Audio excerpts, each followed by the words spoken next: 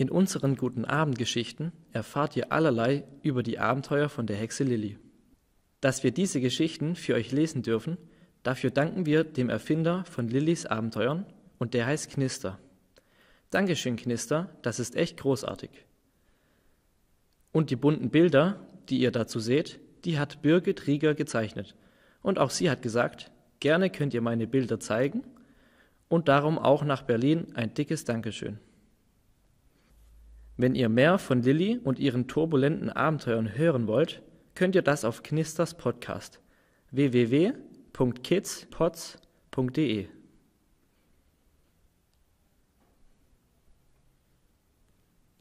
Hallo, heute gibt es Teil 2 von Hexe Lilly und der verflixte Gespensterzauber. Ein echtes Schlossgespenst. Also setzt Mama sich auf die Bettkante und erzählt. Ihr müsst wissen, Gespenster sind eigentlich harmlos. Es sei denn, man nimmt sie nicht ernst. Dann sind die Gespenster in ihrem Gespensterstolz gekränkt. Und dann kann ein harmloses Spiel grausam enden. Grausam enden? Wie meinst du das? fragt Lilly gespannt. Mama erzählt weiter. Ich war einmal auf Klassenfahrt in Schottland.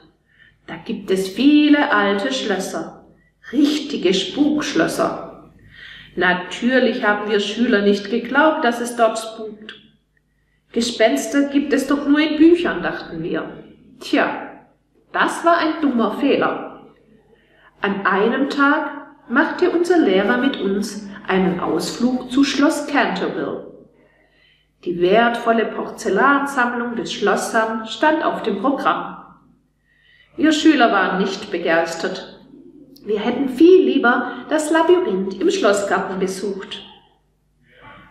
Aber unser Lehrer fand, dass die Porzellansammlung wichtiger war als ein Gartenlabyrinth. So ist es eben. Lehrer glauben immer, ihre Ideen seien gut. Das war damals genauso wie heute. Gleich am Schlosstor wurden wir von einem alten Schotten in Empfang genommen. Es war der Schlossherr höchst persönlich. Er sagte, ich begrüße euch auf unserem ehrwürdigen Schloss. Laut Schlossordnung dürfen Besucher nichts anfassen. Keinen Müll liegen lassen und vor allem keine Kaugummis auf den Boden werfen. Bitte haltet euch an die Vorschriften. Und noch etwas falls unser Schlossgespenst auftaucht. Tut bitte so, als ob ihr euch fürchtet. Das Gespenst ist mehr als 300 Jahre alt und darum ein wenig altmodisch. Dies als Warnung, nicht, dass es euch in Kröten verwandelt. Schlossgespenst, Schlossgespenst trauten alle. Wer glaubt denn noch an sowas? Mama räuspert sich. Lilly, Leon, ihr glaubt es nicht. Kaum hatten wir das Schloss betreten, kam ein Gespenst angeschwebt. Es heulte und stöhnte furchtbar, so dass mir wirklich ein Schauer über den Rücken lief. Aber die meisten lachten nur. Unser Witzbold Jochen hänselte das Gespenst. Diese olle Bettlaken will ein Gespenst sein? er lachte so heftig, dass die coole Sonnenbrille auf seiner Nase auf und ab hüpfte.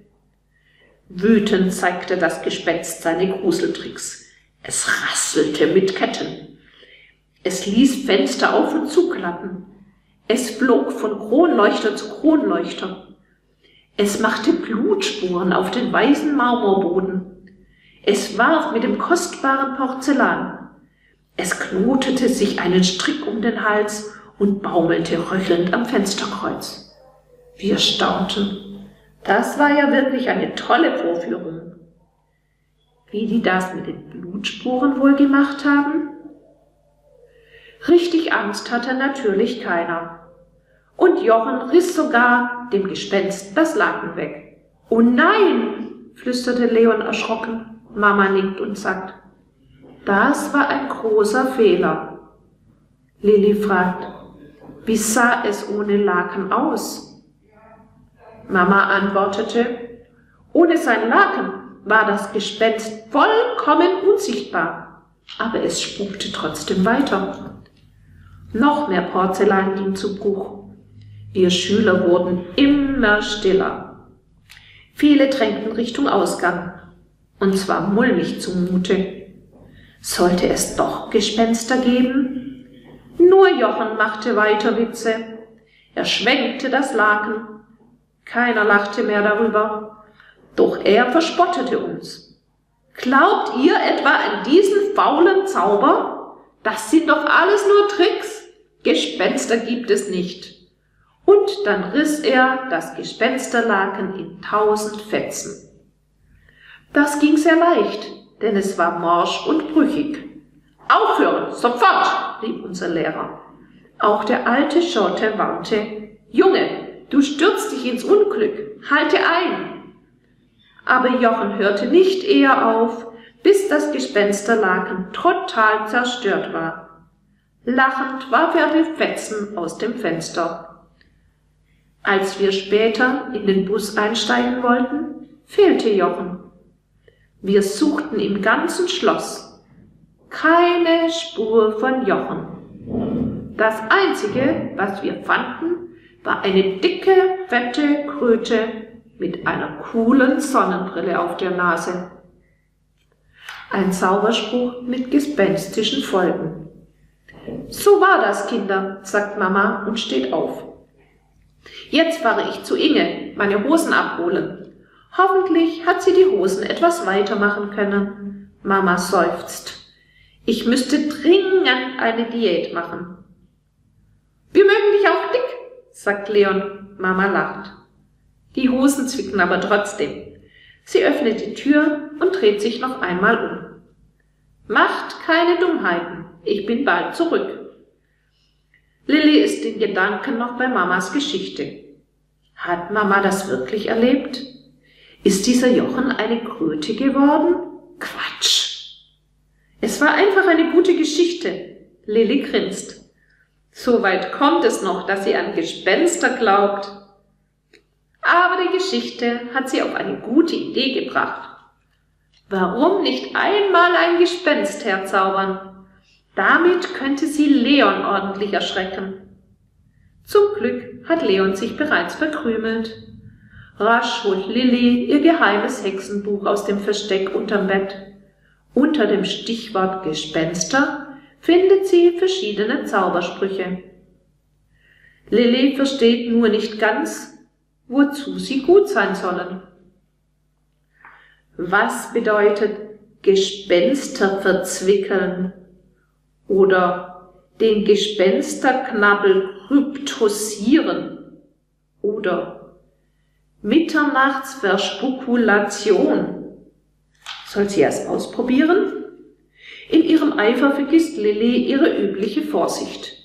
Ohne nachzudenken liest sie den ersten Spruch. Aber nichts passiert. Sie liest ihn noch einmal, diesmal etwas lauter. Nichts passiert. Sie probiert den zweiten. Nichts. Was macht sie falsch? Ratlos lässt sie das Buch sinken. In dem Augenblick hört sie ein Geräusch. In ihrem Schrank heult, faucht und stöhnt es. Lilly springt auf und will die Schranktür öffnen. Aber halt! Das muss sie zuerst Leon hören lassen. Der wird sich ordentlich gruseln. In diesem Moment hört sie ihn aus der Küche rufen, Lilly, hör auf damit! Ich weiß, dass du das bist! Hör auf, du Gruselgeist. Wie kannst du dich nur so groß machen, Lilly? Ja, ja, denkt Lilly, schrei du nur. Darauf falle ich nicht herein. Wahrscheinlich wieder das gefährliche Bärchengespenst. Keine Zeit, ruft Lilly zurück. Hier ist ein Gespenst in meinem Schrank. Einen Moment ist es ganz ruhig. Lilly hört Stühle poltern. Hilfe, Lilly! schreit Leon. Hier ist ein echtes Gespenst. Es will mich in eine Kröte verwandeln. Kröte? Lilly wird hellhörig. Lilly, Hilfe! Leons Stimme klingt panisch. Lilly ist hin und her gerissen.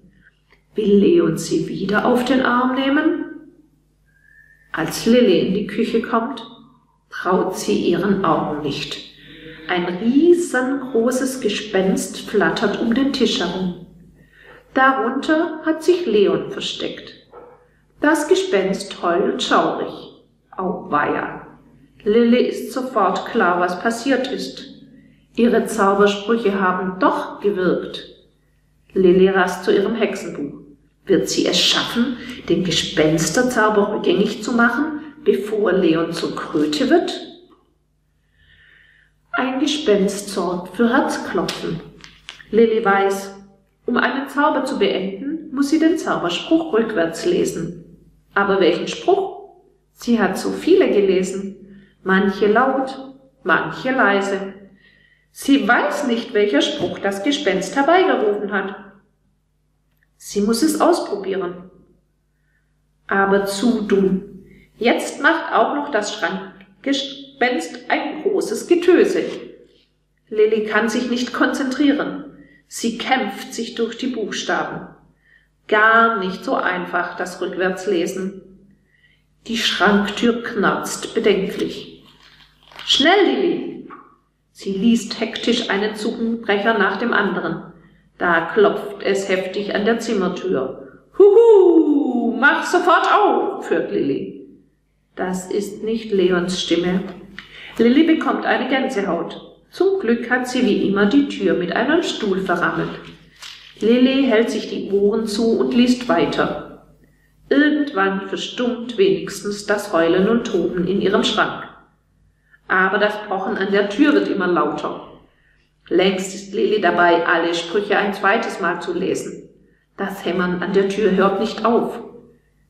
Schließlich hat Lili alle Gespenstertricks durch. An der Tür heult und klopft es immer noch. Von Leon ist nichts zu hören. Ist er bereits in eine Kröte verwandelt worden? Lilly muss ihm helfen. Aber wie? Sie atmet tief durch. Dann öffnet sie die Tür. Das Gespenst ist viel größer als Lilly. Es geistert durch den Flur. Es heult schauerlich. Lillys Herz pocht. Wäre sie doch nicht so unvorsichtig gewesen. Leon hat sich hinter die Mäntel an der Garderobe verkrümelt. Das Gespenst bleibt vor Lilly stehen. Mit Grabestimme flüstert es. Jetzt verwandle ich euch in Kröten. Huhu. Dabei zaust es Lilly an den Haaren. Lilly erstarrt. Dann stutzt sie. Das Gespenst hat Hände? Hände! Jetzt wandert eine Hand langsam nach oben, reißt das Gespensterlaken zur Seite und da steht Mama im Flur. Lilly sperrt vor Staunen den Mund auf. Mama war das Gespenst. Mama lacht und sagt, Darf ich nicht auch einmal Gespenst spielen? Das habe ich schon immer gerne gemacht. Lilly erholt sich langsam von ihrem Schreck. Sie sagt grinsend, Du solltest immer Bettlaken tragen, Mama, dann brauchst du deine Hosen nicht entern lassen. Du freche Kröte, ruft Mama, und dann gibt sie der Kröte einen ganz dicken Kuss. Einen schönen Abend noch für euch Macht's gut!